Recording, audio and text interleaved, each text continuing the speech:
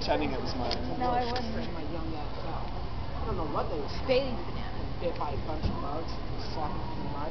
Hey, you know oh, what? have to change my mind about it. Bailey's banana was better than your banana any day, oh, okay? Yet still you would pretend it was mine. No, I wouldn't. Because if I would still pretend it is, I'm not I'm pretending it's Bailey's? Because it is Bailey's. It's not yours. You're lying. This is Bailey's banana. I love Bailey's banana.